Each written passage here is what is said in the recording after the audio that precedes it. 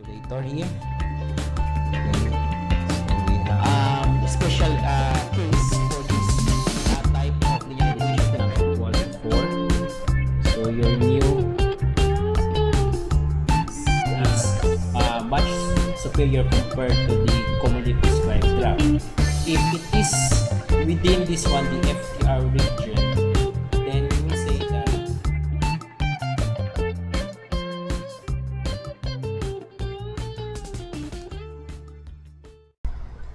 Okay, so in this video, we will be talking about um, Laplace transform. So first, we will be tackling about the concept of a transform. Okay, so we have here, let's just right here the um, definition of a transform. Okay, so by definition, if you're going to write the uh, the equation of a transform, so this is the um, nomenclature of this one t. So you have f of t, so function of time. So the transform of a function of um, t is equal to the integral of infinity so the limits is infinity and negative infinity k s t then we have f of t dt okay. So let's analyze first this um, equation okay. So we have here the integral of k so a function of k which is um, the variable so the function is in terms of s and t so you have two variables here, then a function of t dt. So this um, equation here is, uh, this term here is the one which makes the this uh, whole thing work or makes or uh, the one that make that makes this equation as a transform. So depending on the type of a transform, either it is Laplace z uh, transform, so the the equation will be uh, this term will be different. So this is the definition of a transform. So the main concept here is the integral of a limit. So for the, the general form is the limit from infinity to negative infinity. So that is the definition of a transform. Now we will go to the Laplace transform. So maybe just write here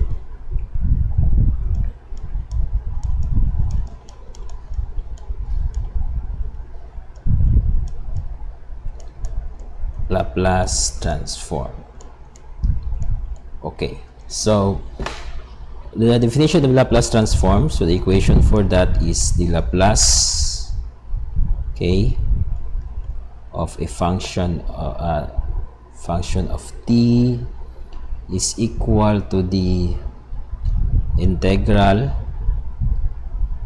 okay, so the limit is from infinity to 0 a negative st so this will be our k s of t. Uh, key st uh, then you have the function itself. So f of t dt then this now will be transformed. So the resulting one will be f of s. So as you notice so our given function is um, in terms of t then we apply the concept of a transform in which our um, KST is e to the negative st. So as, as you notice, comparing the two.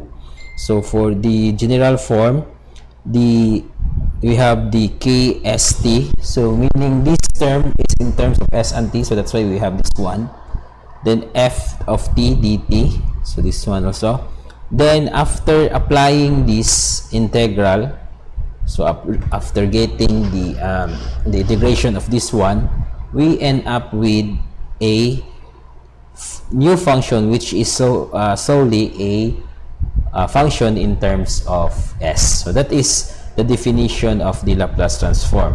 So the the main the main term that make this this transform Laplace transform is this one the e to the negative st of course there is a much a broader definition of this one as apply on uh, other um, branch of um, mathematics and engineering, especially in time domain and frequency domain um, um, problems. But in this video, we just focused on how the transform was derived, especially of elementary functions. And maybe we could have another video on the concept itself, on how it is, uh, on how the term is, the term used for the Laplace transform is e to the negative st. But for now, we'll just we'll just focus on the on getting the transform of functions. Okay.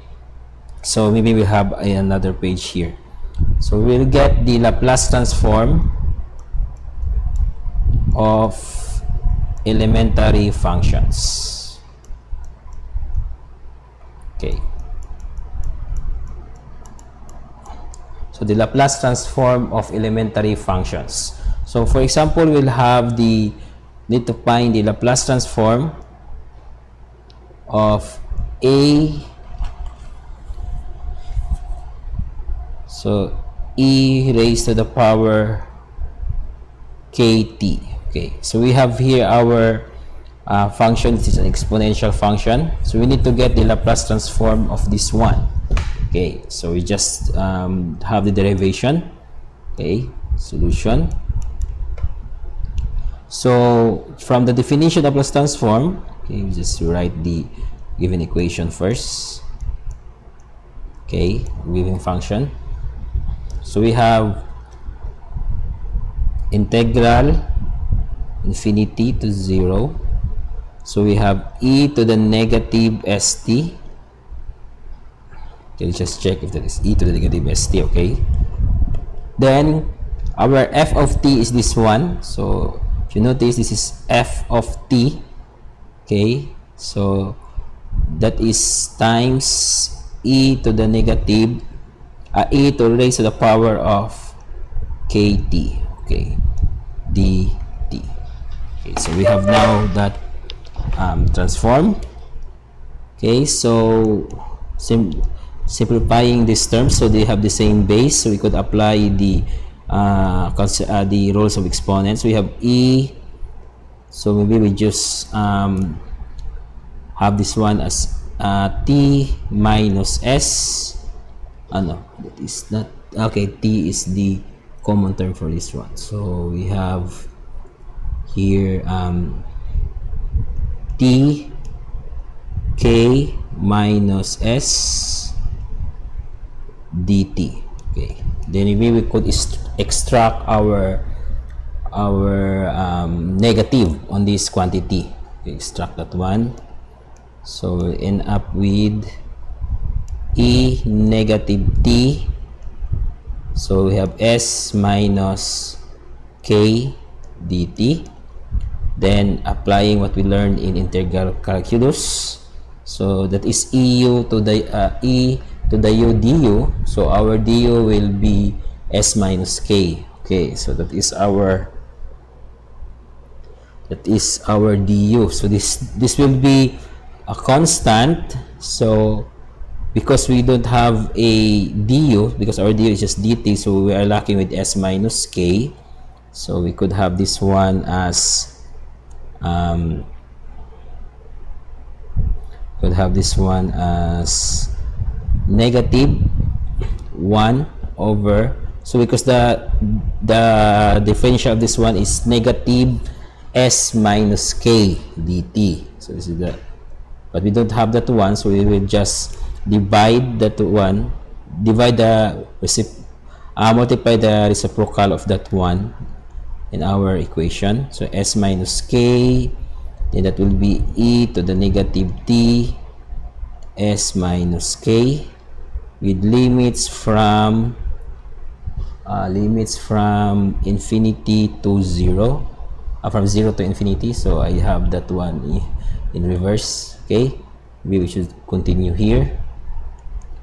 So we will end up with e to the negative t s minus k over to be negative okay s minus k with limits from in, from 0 to infinity. Okay. Then we just apply the uh, apply the concept on getting the exact value of definite integrals because this is now a definite integral because we have now the limits. Okay so we will end up with so we just substitute the value of these limits here. So we will have negative a negative our t is infinity s minus k over so the substitute of this one is um, the upper limit minus the lower limit. So we have s minus k will be minus so we have negative e raised to the power of negative 0 so our t now is 0 s minus k should uh, write here clearly. S minus k over s minus k.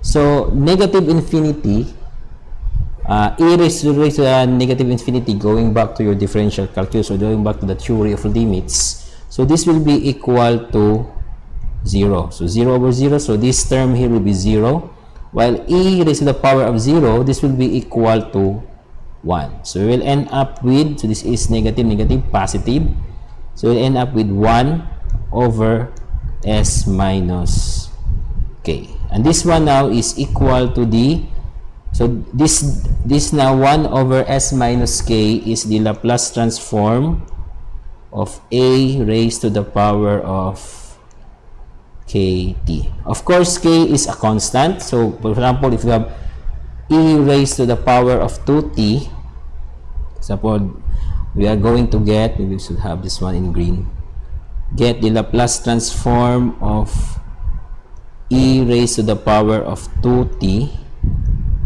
of course our the value of our k here is now 2 so we could just substitute it directly we have 1 over s minus 2 so that is uh, this is one of the uh, the formulas of the Laplace transform of, of elementary functions. So we have derived the first one which is the Laplace transform of um, an exponential function raised to a function. So this is now the Laplace transform of that um, function. Of course, at the end of this discussion, we will have the uh, the table of the Laplace transform for elementary functions. On the next video, we'll uh, on the next video we will try to um, get uh, or derive other Laplace transform of elementary functions. So for this video, this is the first part. So I hope you learned something and um, thank you for watching and as always enjoy learning